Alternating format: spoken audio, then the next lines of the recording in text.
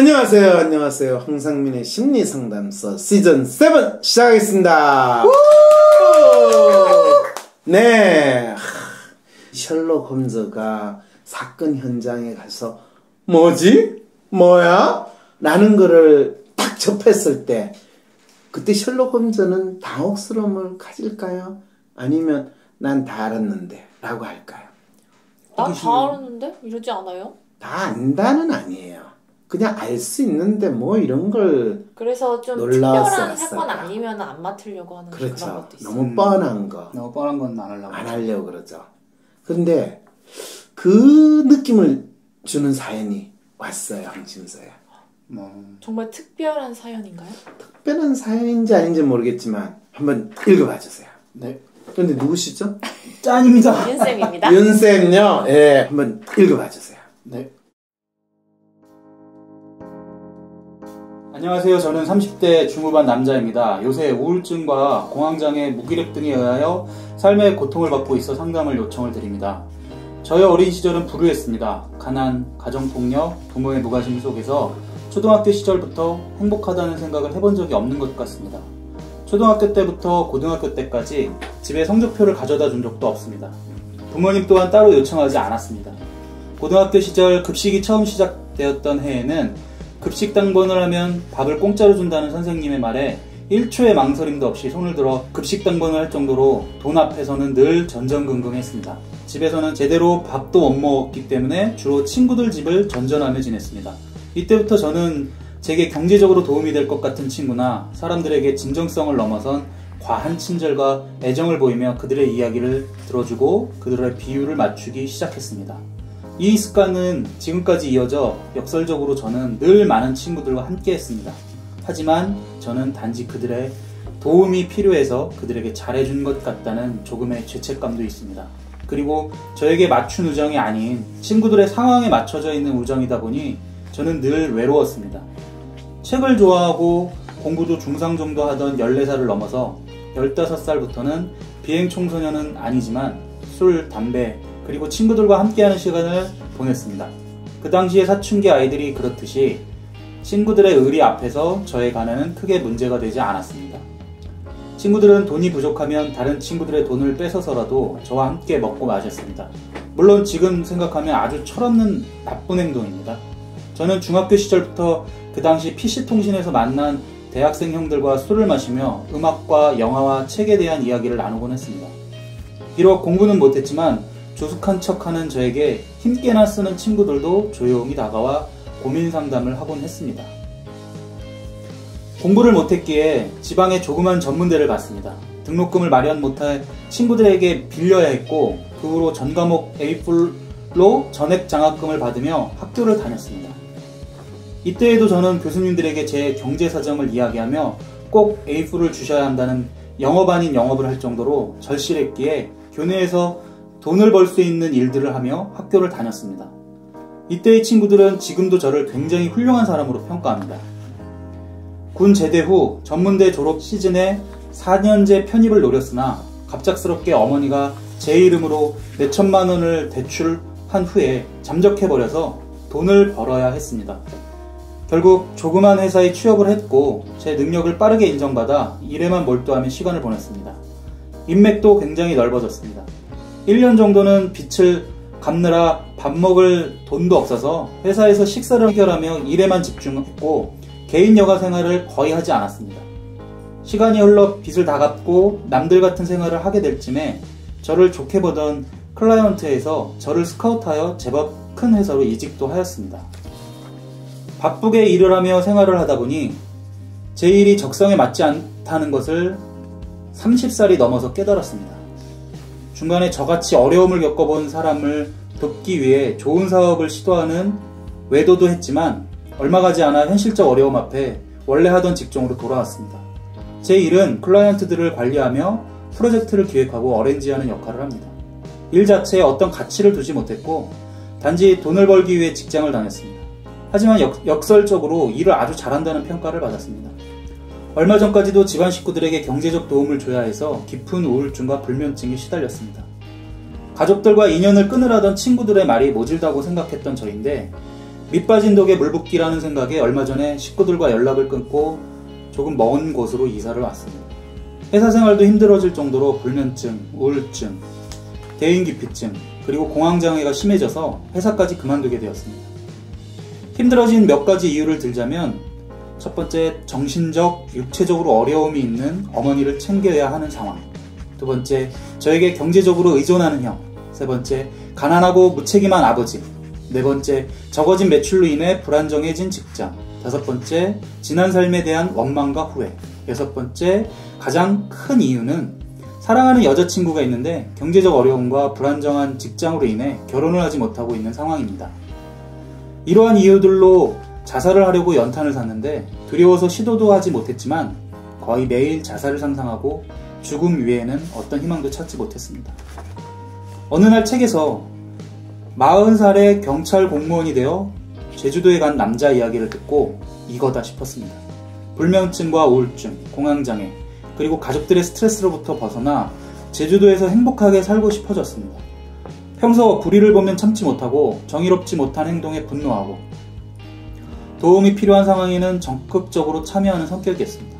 이런 성격을 보면 경찰이 맞을 수도 있는데 공무원 조직은 저와 정말 어울릴 것 같지 않습니다. 근로 적느라 다 말하지 못한 저의 이런 상황을 모두 알면서도 저를 사랑해주는 여자친구가 있습니다. 여자친구의 직장은 제주도로 발령이 가능한 직장이라 제가 경찰 공무원이 되면 함께 결혼해서 제주도에서 살자고 합니다. 여기까지 읽어주셔서 감사드립니다. 저의 가장 큰 고민은 경찰 공무원 도전이 맞을지입니다. 박사님께 따끔하게 혼나고 정신을 차리고 싶습니다. 늘 박사님의 방송과 책을 통해 위로를 얻습니다. 저의 삶의 가치는 사랑, 마음의 평화, 행복, 경제적 안정, 지식입니다. 감사합니다. 네. 이분이 가지는 문제가 뭐죠? 일단 이분의 가장 큰 짐은 네. 가족인 것 같아요. 가족이 웬수예요. 가족이 왼수예요. 맞아요. 근데 또 등 돌리고 있자니 너무 자기가 힘들고. 그러니까 자기가 처한 상황에서 네. 그 자기 나름대로 생존하려고 발버둥 쳐왔네요. 그래요? 진짜 그렇게 느껴요? 아니에요? 저는 이분이 자기가 처한 상황에서 그냥 삽질은 골라서 참 열심히 하셨다 싶은 생각이 드는데요. 저는 이분이 최선을 다해왔다고 생각하는데. 어, 항상 삽질하는 사람은 그 삽질이 자기는 최선을 다했다고 이야기를 해요. 그럼 어느 포인트에서 이상한 건가요? 그렇죠. 그 질문을 해야죠. 그래서 이분이 지금 뭔 질문을 하고 있는 거예요? 지금은 제주도로 경찰 공무원 시험을 준비해서 가고 되냐 이 얘기 듣고 싶으신 것 같은데 그거는 이분한테는 어떤 일인지 알겠죠? 도피죠. 도피라는 건 아시겠어요? 네. 오이 훌륭해요. 그럼 그거는 맞아요, 틀려요? 안타깝지만 또 다른 좀 삽질이 틀린 될- 것 같아요. 왜 틀린 것 같아요? 네, 가족의 문제가 해결이 되지 않을 것 같아요. 가족의 문제가 뭔데요? 경제적으로 이분한테 의지를 계속 하려고 하죠. 어, 그럼 경찰이 돼가지고 뭐 이래저래 삥 뜯고 뇌물 받아가지고 가족 부양하면 되잖아요. 그러고 싶지 않으시다고 하시는 거 아닐까요? 지금 이분 자기 이름으로 어머님이 몇 천만 원 빌리신 것도 순수하게 내가 갚아야 된다고 직장 생활까지 하시는 분인데 그러게요. 저는 솔직히 왜 이걸 싸우거나 거부하거나 따지지 않았는지가 이해가 안 돼요. 이거를 그대로 받아들여 갖고 열심히 일해서 갚았습니다라는 게 참 대단하시다는 생각이 들어요. 그렇죠. 예. 뭐 그거가 지금 본인이 자기 사는 데 있어 문제라고 생각해요? 이분이 거기서부터 문제가 삽질이 시작된 거 아닌가요? 아니 부모가 진 빚을 또 자식이 갚을 수도 있는 거지. 뭐 그걸 가지고 자식 인생이 잘못됐다고 그래요. 어이 이 참 착한 자식을 왜 그렇게 나쁘게 만들어요? 근데 그걸로 인해서 결국은 너무 힘들잖아요. 괴로워. 그걸 인했으라니 그것 때문에 이분이 회사 취업을 해가지고 능력을 인정받을 만큼 열심히 일하게 되는 이유가 될 수도 있었는데 왜 그렇게 그럼 생각 박사님 안 지금 뭘 되죠? 물어보시는 거예요? 이분이 그러면 뭐가 문제인지를 물어보시는 거예요? 그렇죠 이 사람의 진짜 문제는 뭔가요? 그럴 때 이 사람이 첫 번째 지금 자기가 30대 중후반 남자예요 요즘 우울증, 공황장애, 무기력 등에 의해 삶의 고통을 받고 있어 상담을 요청한대요. 본인이 지금 삶의 고통은 우울증, 공황장애, 무기력이 지금 자기한테 삶의 고통을 준대요. 우울증, 공황장애, 무기력에 시달리고 있습니다. 하면 보통 사람들이 뭐라고 그래요? 병원 가봐! 약 먹어! 핑계를 댄다는 건가요? 지금? 음, 그 말은 내가 안 점점 와- 했어요. 와- 왓슨이 돼가는 기분이에요. 그렇게 이걸로 해요. 얘기 좀 해줘요. 답답해요. 네. 모르겠어요. 왓슨은. 아, 안 그러면 수수께끼 같이 질문을 던지고 빨리 왓슨에 가가지고. 약 사 먹으라고 그래요. 네. 자, 그러면 지금 잘 보세요. 이 친구는 자기가 어린 시절에 불우했다고 그러고 자기가 그동안 살아왔던 것이 불우한 삶의 연속이었다라고 쭉 이야기하면서 자기를 표현하죠. 네. 네. 네. 그럴 때 여러분들은 이 사람에 대해서 이 사람은 어떤 사람이라고 이야기할 수 있겠어요. 불우한 가정 환경 어려우셨겠네요. 어려운. 힘드셨겠네요. 힘들었다. 네. 네. 그리고요. 그 와중에 대단하시게 잘 그래도 노력하셔서 와- 그렇죠. 네. 노력했는데 그 노력은 무슨 노력이었어요? 삽질이라고 내가 이 사람의 그동안 살아온 노력이 삽질이라고 이야기했어요? 내가 삽질이라고 이야기한 건 경찰 공무원이 저에게 맞나요 안 맞나요 하는 것이 자기 문제에 대해 제대로 파악하지 않은 상태에서 경찰 공무원이라는 정답을 정해놓고 그냥 내한테 확인받으려고 하는 그 행동이 삽질이라고 그런 거예요. 그쵸. 정확히 이야기해야 돼요. 그리고 이와 같은 삽질적인 행동은 과거에도 반복했을 것이다 라고까지도 이야기했어요. 네. 네. 그럴 때 우리는 이 사람이 항상 그 어려운 상황에서도 진짜 나름대로 열심히 자기의 능력을 발휘했잖아요. 그죠? 네. 네. 왜? 무엇 때문에? 무엇이 그 능력을 발휘하게 만드는가? 이런 질문을 던져봐야 돼요. 무엇이 그렇게, 그 사람을 그렇게 하도록 만드는 동기가 되었는가? 힘이 되었는가? 어려움 어려움. 공경 공경? 경제적 어려움 경제적 어려움? 경제적 어려웠기 때문에 이 사람이 그렇게 노력하고 엄청난 사교성을 발휘하고 친구들하고 잘 지내고 그랬던 거예요? 이분이 추구하는 가치라는 게 여기 지금 사랑, 마음의 평화, 행복이 우선순위로 말씀하셨는데 그걸 믿, 믿어요? 지금 지가 뭐 살아가는지 몰라가지고 우울증 공황장애 무기력에 시달린다고 자기를 생각하는 사람이 이야기하는 가치를 믿어요? 그럼 이분이 그냥 그- 그냥 생존 본능인 건가요? 그럼? 그럴 때는- 어떻게든 살아남으려고 그 생존 본능이 이 사람한테는 뭐로 나타났어요? 사람들한테 잘 해주는 걸로 왜 사람들한테 잘해줬어요? 실질적인 도움이 됐으니까요. 실질적인 돈이 뭐야? 뭐 밥도 그렇고 돈도 그렇고 그 밥과 돈을 다 아우르는 한다는 거 뭐야? 경제적 돈이에요 돈 돈 돈! 돈. 돈 때문에 그걸 다 돌파해 나갔다는 얘기신 거예요? 그러면 그러면 그러면 사랑을 위해서 마음의 평화를 위해서 이분이 지금 겪고 있는 이 우울증과 이런 것들이 다 돈이 버는 것이 안 되기 시작하면서 생긴 거다라는 얘기시네요. 당근이죠. 그러니까 돈을 못 버니까 되면 안 되고 돈 벌어야 된다는 얘기네요. 당근이죠. 근데 그거 갖고 고민하시는 거잖아요. 뭘 해서 돈 벌어야 되지? 그래서 내가 응. 어이구 지가 지금까지 가장 잘하는 게 있었는데 그게 뭔지를 모르니 얼마나 답답해요. 이 사람이 보세요. 본이 밥을 공짜로 준다는 선생님의 말에 망설임도 없이 손을 들고 급식 당번을 할 정도로 돈 앞에 쓰는 널 천정건강했습니다. 그렇죠. 대단한 거죠. 대단한 거예요. 돈을 위해서는 내 진짜 뭐도 팔겠다라는 그 심정으로 사는 거예요. 그러니까 이분이 그냥 돈의 욕망의 대로 가라. 지금 그런 얘기 취지신 거예요? 나쁘지 않다. 아, 당근이죠!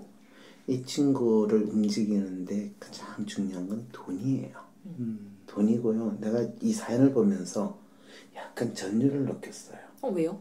왜냐하면 제게 경제적으로 도움이 될 것 같은 친구나 사람들에게 진정성을 넘어선 과한 친절과 애정을 보이며 그들의 이야기를 들어주고 그들의 비율을 맞추기 시작했습니다. 네. 대단하다고 생각했습니다. 이러면서.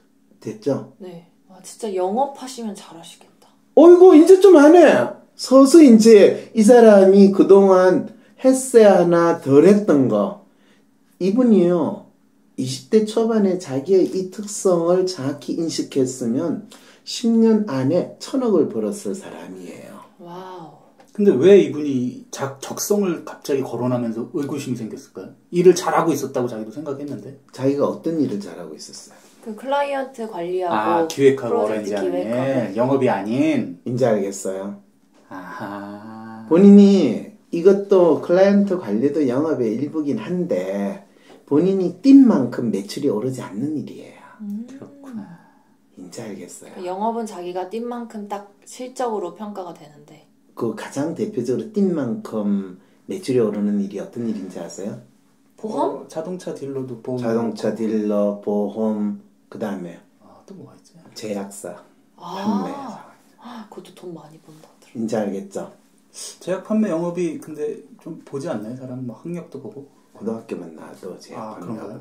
그럼 진짜 제약이 진짜 돈을 많이 버는. 그건 알아요. 네, 알고 있습니다. 그게 고등학교만 나와도 할 수 있다는 건 몰랐죠? 몰랐습니다. 네. 네. 물론 이제 뭐 학- 학벌 조건을 따져서 요즘에는 전문대 수준 이상은 하는데 뭐잘 나가시는 분들은 옛날에 지금 50대 60대 되신 분들은 고등학교 나와가지고 상고나 공고나고도 제약 영업 시작했어요. 음. 근데 그거는 앞으로도 별로 안 바뀌어요. 왜냐하면 미국에서도 제약 영업이 실제로 인센티브가 되게 높기 때문에 보통 자동차 딜러나 뭐 보험 영업 사원보다 더 인센티브가 높다고 이야기하고 또 그래서 또 상당히 많은 돈을 벌어요. 이분 사연 하면서 또 제가 하나를 깨닫네요. 뭘 깨달아요? 저는 지금 말씀하신 것도 그렇게 살면 안 되는 거 아닌가라는 너무 당위성에 매여 있는 것 같아요. 그래서 그런 생각이 전혀 안 들었어요. 그렇죠. 네, 돈을 욕망으로 쫓는다? 그거 나쁜 거 아니야? 라는 생각이 욕망을 쫓아도, 그러니까 불법을 저지르지 않고 그렇죠. 자기의 능력을 발휘하는 선에서 그리고 욕망을 쫓는데 불법을 저지르지 않기는 쉽지 않아요. 그러니까요. 예, 그런데 욕망을 안 쫓아도 불법을 저지르지 않기가 쉽지 않아요. 그러니까 어차피 똑같으니까. 그리고 욕망을 잘 쫓으면 그 불법에서 빠져나오는 것도 잘 할 수 있어요. 아, 왜? 법이라는 거는 이 깨끗함이나 정의로움이 아니라 법이라는 것은 권력에 의해서 움직이기 때문인 거예요. 정말 민낯을 다 드러내시는 얘기니까 반박할 수 없는데 되게 따끔따끔하네요. 어, 법 자체를 부정하는 건 아니에요. 그리고 탈법과 불법의 경계라는 것 자체는 그 법을 어떻게 해석하고 적용하는가 라는 부분이 많이 있어요. 그렇다고 남을 폭행하고 돈을 뺏고 하라는 이야기 결코 아니에요. 네. 이분이 실제로 한 달에 한 2천씩 버는 일을 하고 있다면 지금 이런 고민할까요? 안안 하셨겠죠. 그리고 이분이 한 달에 2천 정도 벌 수 있을까요? 영업하는 일을 한다면 아, 더이 정도 적성이고 이. 정도 자기를 내려놓을 수 있으면 할 수 있으실 것 같아요. 이제 알겠죠? 네. 네. 내 말이 그 말이에요. 근데 왜 자기가 잘하는 거를 인식하지 못하고 자꾸 삭제를 한 거예요? 그게 많은 사람들 가지고 있는 안타까움이고 어려움이라는 거예요. 네. 난 가장 놀라운 게 이 전액 장학금을 다니면서 전과목 A 플러스로 전액 장학금을 다니면서 학교를 다녔대. 네. 근데 도서관에서 열심히 영어 다 내오고 시험 준비를 했어요가 아니라 교수님께 교수님께 가가지고 영업 아닌 영업을 했다. 어, 교수님한테까지도 놀랍지 않아요? 학점이 영업의 대상이 될 수 있는 새로운 신기원을 보여준 친구라는 거예요. 네. 심지어 훌륭한 사람으로 평가를 받을 정도로 이제 영업을 알겠죠? 했다는 게 대단한 것 네. 같아요. 진짜 나중에 영업 왕 이런 걸로 책한번 그럴 쓰셔도 때 누군가가 이 친구가 졸업할 때 너가 할 일이 진짜 영업이구나 아. 라고 한마디만 이 친구한테 했더라면 이 친구 인생이 지금쯤 아마 천억 부자가 됐으라고 내가 장담할 수 있다니까요. 전문대 졸업 시즌에 4년제 편입을 노렸으나 갑자기 어머니가 제 이름으로 몇 천만 원을 대출한 후에 잠적해버려서 돈을 벌어야 했습니다. 이거는 진짜 어머님이 나에게 준 새로운 축복인 거예요. 돈을 너가 벌 수 있는 너희 재능을 살리지 왜 쓸데없이 4년제 대학에 편입해가지고 너가 돈과 시간을 낭비하느냐 그 기회를 준 거예요. 그 재능을 살릴 수 있는데 박사님 말씀하신 것처럼 영업해갖고 돈 벌게 되면 그렇죠. 이 가족 문제는 그래도 계속 살아있는 문제지 않습니까? 아니죠. 그러면 아니에요. 엄청 부자가 되면은 도와줄 능력이 되잖아요. 그럼요. 내가 아주 잘 나가는 극작가를 인터뷰를 한 적이 있어요. 네네. 그분이 뭐라는지 알아요? 제가 지금까지 유명한 작가가 됐던 건요, 우리 엄마 때문이에요. 그래서 엄마가 어땠는데요?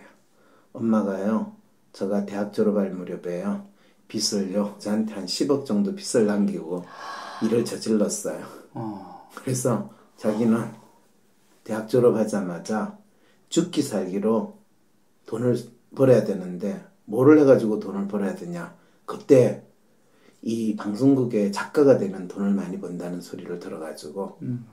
시작을 했대요 처음에 1, 2년 안에 뭐 큰 돈을 벌긴 힘들죠 네네.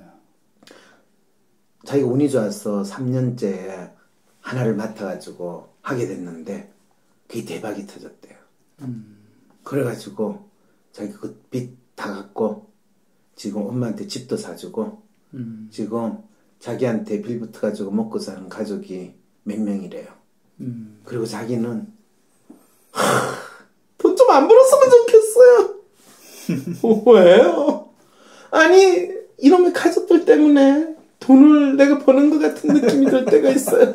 아니 버는 사람 따로 있고 쓰는 사람 따로 있다니까 이게. 바로 그거예요. 그런데 더 재밌는 건요. 그래도 내가 그 가족들 없었으면 지금처럼 유명한 극작가는 못 됐을 거예요. 음. 아, 그렇게 미친 듯이 돈 벌려고 하고 어떻게 하면 돈 벌 수 있는 방법으로 돈 버는 걸 생각하는 게 일단 성공해야지 지한테 돈이 들어오잖아요. 네. 한 편 쓰는데 전에는 이게 30부작 이렇게 하면 한 편 쓰는데 처음 시작할 때는 100만 원인데 지금은 1000만 원, 3000만 원, 5000만 원이에요. 30부작 끝나고 나면 한 6개월 작업하고 나면 본인이 이 돈을 다 어떻게 쓰지? 이제 알겠어요? 네, 네. 그런데 이분이 사실은 이 능력 인정받고 일에 몰두해서 지냈는데 그래서 승진도 했어요. 그렇지만 영업해가지고 돈 버는 만큼 많이 못 벌었을 거예요. 네. 아. 그렇죠. 여기서부터 이분이 지가 영업 능력이 있으면 영업을 했어야 된다.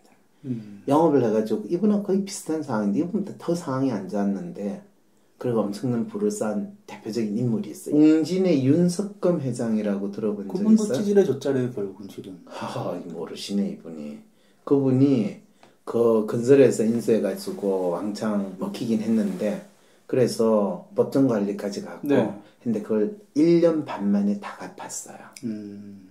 왜냐면 알짜 회사들 다 팔고 네. 네. 그래서 1년 반 만에 법정 관리 자력으로 탈출한 유일한 케이스예요 음.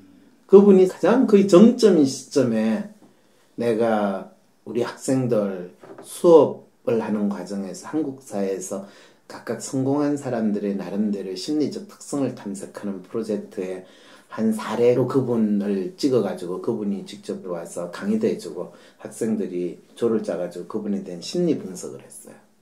근데 그분도 진짜 어려운 상황인데 본인이 영업을 했대. 브리티니카 옛날 백화사전 네. 그 영업부터 시작해가지고 돈을 벌 때 본인이 얼마만큼 남들과 다른 특성이 있다는 걸 알았대. 자기의 영업 능력에 대해서 알게 된 거예요. 그리고 옛날에는 그 책장 세더라도 영업하면 엄청나게 돈을 많이 벌 수 있었는데 그분 이야기할 때 그때는 진짜 거의 재벌 회장 수준인데도 완전히 몇 시간 두 시간 와가지고 강의하는데 학생들한테 영업하고 가더라니까요. 내가 그런 느낌을 받았어요. 이분이 고민하는 거 지금 경제적 도움을 줘야 해서 깊은 우울증과 불면증에 시달립니다. 회사 생활이 힘들어질 정도로 불면증, 우울증, 대인기피증 그리고 공황 장애가 심해져서 회사까지 그만두게 됐습니다. 자기 문제에 대한 인식을 전혀 못하고 그 문제의 결과로 생긴 신체적 또는 심리적 혼란이 마치 자기 문제인 것처럼 회사를 그만둔다고 그러는 거예요. 음. 이런 분들 많아요. 많아요. 그래 놓고 본인 나름대로 힘들어진 몇 가지 이유를 들자면 정신적, 유체적으로 어려움이 있는 어머니를 챙겨야 하는 성향. 거기도 돈 들어. 저에게 경제적으로 의존하는 형 돈 들어. 가난하고 가난하고 무책임한 아버지 돈 들어. 적어진 매출로 불안정한 직장 돈 없어.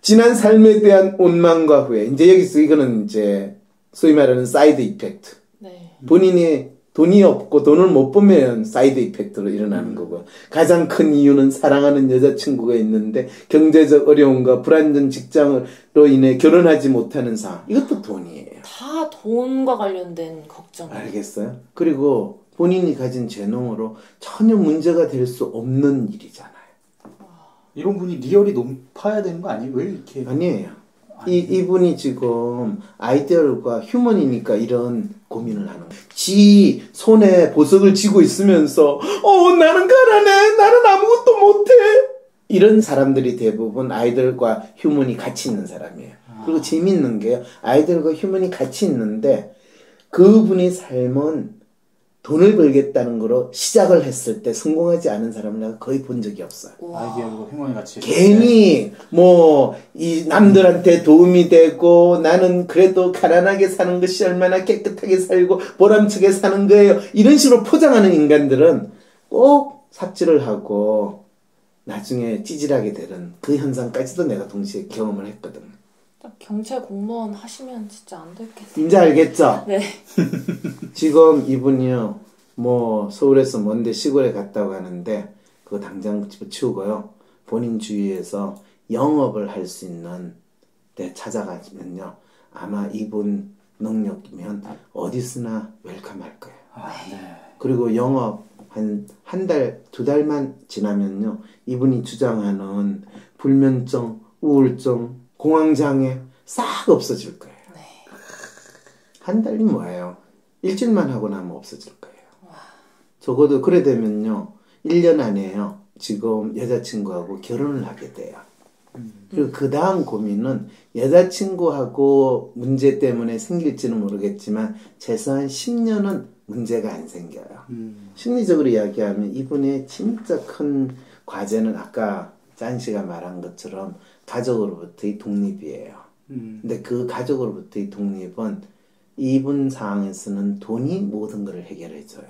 아. 그리고 두 번째 이분한테 진짜 필요한 건 새로운 가족을 만드는 거예요. 그거는 지금 여자친구와 결혼해서 자식을 낳는 거예요. 네.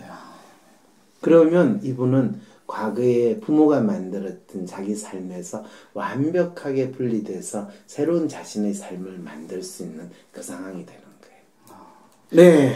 자, 오늘 나오신 분 누구시죠? 짠입니다. 짠하네요. 정말 짠합니다. 오늘 사연 듣고 좀 짠한 삶이 좀 달라질 것 같으세요? 네, 또 오늘 하나 배워가네요. 네. 윤쌤입니다. 네. 수고하셨습니다. 기획의 영정아, 윤다은, 편집의 박이라였습니다. 헬조선에서의 심리 독립을 돕는 방송 황심서입니다.